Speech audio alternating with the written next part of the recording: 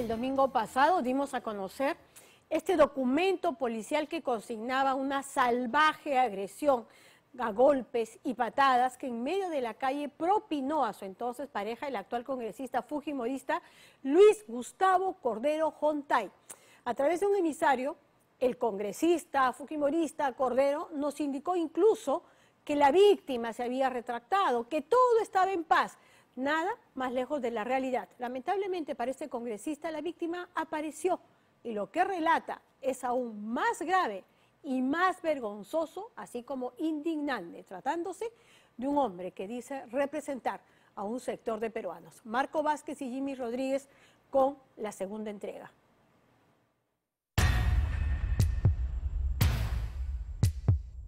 Tal es el punto que el miedo que les tengo es que yo me fui de, de la ciudad de Lima a vivir a provincia, uno, por las constantes amenazas que recibía de ellos, otro... ¿De ellos? ¿De quién se refiere de ellos? De la familia del señor este, Luis Gustavo. Cordero. Su hermana, sí, Cordero Yontay. Su hermana, sí, Cordero Yontay. Habla la víctima. Sí, el actual congresista Luis Gustavo Cordero Yontay agredió. Cuando nosotros lo contactamos a él, él envió una especie de emisario que señaló que usted se había retractado, que no pasó eso. ¿Usted se reafirma en la agresión? Por supuesto, porque él me pateó incluso en la garganta que no podía hablar dos días. Una patada tan fuerte eh, o más fuerte me pudo haber roto la tráquea. Yo nunca me retracté de esa denuncia. Panorama presentó el documento, pero la historia que cuenta la denunciante, la víctima, la expareja del congresista Luis Gustavo Cordero, John Day, es espeluznante. Tiene varias partes y es un compendio del agresor, acoso, violencia, amenaza, golpe y la bajeza delictiva de publicar un video íntimo en Internet. Eso llegó en todo mi entorno este, familiar, laboral. Se encargó él de, de diseminarlo, se podría decir. Eh, me, arruinó, me arruinó la vida en ese momento. Mi esposo pagó a un, a un informático para que pueda hacerle el retiro de eso. Incluso en esa ocasión, su hermana, la señora María Cordero, este, me dijo, ¿para qué te metes con él? Pues me dijo así. El inicio de la historia. La víctima conocía a Cordero y trabajó para su familia. Yo empiezo a trabajar con ellos desde el año octubre del 2007. Nosotros iniciamos una relación prácticamente inmediatamente de lo que yo empecé a trabajar para ellos. Específicamente yo trabajaba este, para, para Luis Gustavo. La relación fue un calvario es ahí donde yo inicio una relación con él y en esa fecha de la denuncia yo termino definitivamente esa relación. Eh, sí era una relación, digamos, tóxica, pero no como lo dice que yo era una mujer celosa. Todo lo contrario, yo era muy permisiva y él era un, hombre infiel. Y ya convivíamos juntos. La expareja señala que hubo violencia antes de la denuncia policial publicada y tiene fotografías para probarlo. No ha sido la primera vez que me agrede. Ha habido muchas ocasiones en las que me agredió. Usted me dice que esa agresión que se consignó en el documento policial en Miraflores no fue la única, es decir, hubo más agresiones. Por supuesto, hubo muchas agresiones y de las cuales yo tengo fotografías. Incluso cuando él postuló en el año 2000 11, también para congresista, yo lo acompañaba en todos lados. Ahí también fue una agresión tan fuerte que mis brazos estaban todos moreteados, que tuve que decir que me había accidentado. Ah, todo mundo lo sabe, La pareja llegó a convivir. Luego de terminarlo, él le pidió que le devuelva sus cosas y documentación de toda índole. tiene un círculo, porque él pertenece a, los masones, Paz Unión Perfecta número uno. Claro. Incluso de, de cuando fue presidente de esa, de esa sociedad, digamos así, también yo le llevé toda su documentación este, y todos ellos me conocen. Que yo accedo a llevarles este, sus cosas, entre ellas documentos, sus, sus cosas personales, ¿no? Claro, a Miraflores, donde él vivía. Vive hasta el día de hoy. Ok. En, en la calle 78, en el séptimo piso. Me dijo que la espera en la esquina. Entonces es ahí donde este, él quería pasar, como se dice, por agua tibia todas las cosas, como si nada hubiera pasado. Entonces yo le dije que no y que de una vez este, se acabó el asunto. Como me negué reiteradas veces, le dije muchas cosas que no le gustaron, ¿no? Y eh, es ahí donde me agarra de los pelos y me tira al suelo y me empieza a patear en el suelo. Y, y yo para eso ya le había llamado a su mamá, porque yo ya le tenía miedo a él. No ha sido la primera vez que me agrede. Ha habido muchas ocasiones en las que me agredió. Sin embargo, yo no, no denuncié antes. Esa fue la única denuncia que puse. La víctima intentó seguir el proceso legal, Yo pensaba ir hasta el final. pero no tenía dinero. Su universidad dependía del trabajo para los Cordero John Tai. Sucede que él nunca se presentó en ninguna audiencia. El proceso murió porque la víctima tuvo que acordar con la empresa y con él. Lo que no murió fue el acoso, pues la expareja señala que se mudaba y Cordero John Tai la encontraba, se volvía a mudar y otra vez. Todos me indican que no me meta con él. Él es una persona muy poderosa. Claro. Tal es el punto que el miedo que les tengo es que yo me fui de la, de- de la ciudad de Lima a vivir a provincia. Cuando parecía que la mujer se había librado del congresista Cordero y su recuerdo para siempre, sucedió lo indecible.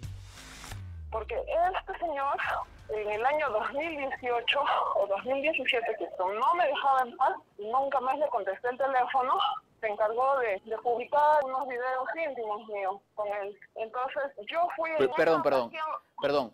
El, el, el ahora congresista Luis Cordero Tai mostró videos íntimos de ustedes. ¿Dónde los Lo publicó? publicó en una página eh, pornográfica, es bien conocida y la ahorita no me acuerdo, pero y es una página que él suele estar metido ahí, lo conozco tanto Ya. que es un hombre muy cochino.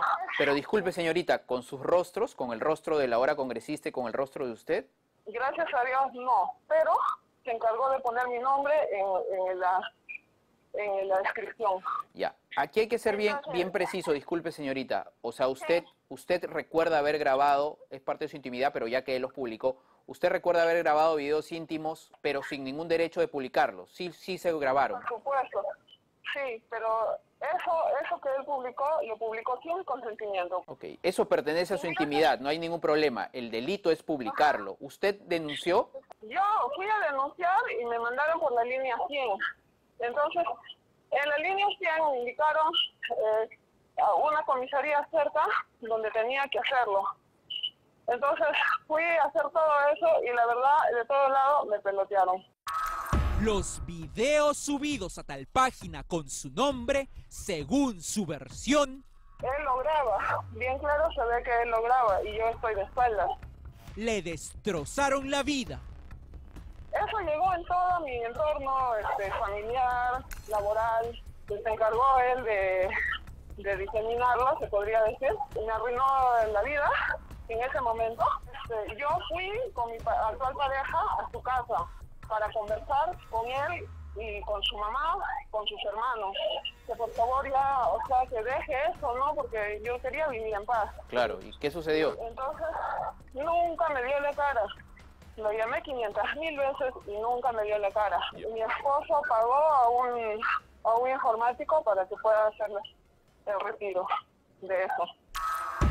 La mujer rehizo su vida en una provincia del Perú. Sin embargo, el fin de semana pasado, ante la inminencia de la denuncia de Panorama, un emisario del congresista Cordero se comunicó con ella para manipularla. La quería manipular. ¿Qué más sucedió? Me dijo, no, pero te va a perjudicar, tú tienes que impedirlo porque tú eres una mujer y se va a tocar tu intimidad y que no sé qué. Entonces me dijo, eh, no te conviene. Me ofrece pagarme los siete años que, que he trabajado para ellos sin sueldo con un compromiso que me iba a pagar los siete años del sueldo que no me, no me pagó, pero con el compromiso de que no diga nada al respecto, ¿no? O sea que usted que- busque, nos busque a nosotros o si la llamábamos, se niegue lo que sucedió. Exacto, que niegue todo eso y que, y que evite que salga eso, ¿no? La puja del allegado de Cordero, igual que con nosotros, siguió hasta el domingo.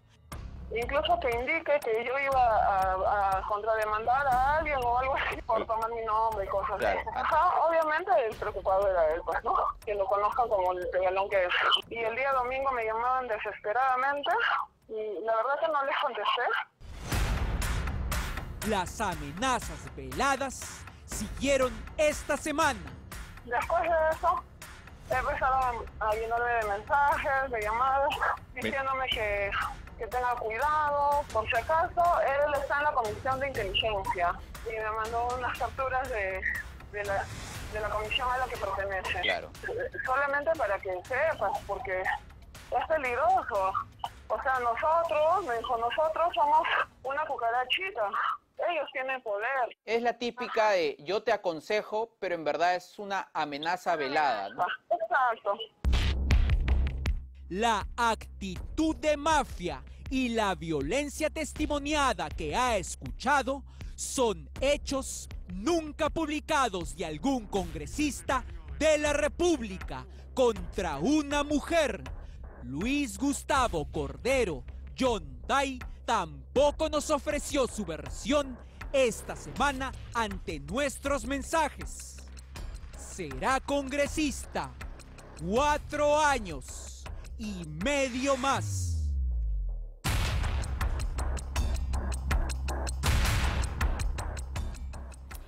Esa es lamentablemente la calaña de este congresista y probablemente hasta haya sido uno de los que internamente se solidarizó, indignó con la agresión contra la congresista Chirinos de parte de Guido Bellido, cuando lo suyo es mucho, mucho peor. Ambos agresores, uno verbal, el otro físico, pero de una cobardía sin nombre, dando puntapiés en la calle, publicando videos íntimas. Y la hermana, también congresista, altamente recomendada por Alberto Fujimori, no tiene nada que decir al respecto sobre esta brutalidad, sobre esta violencia contra una mujer. El gran problema de fondo es que no sabemos elegir, es verdad, o sea, de parte de los electores, pero también el gran problema es que los partidos no dejan de colocar en sus listas a esta clase de gente. Ahora sí nos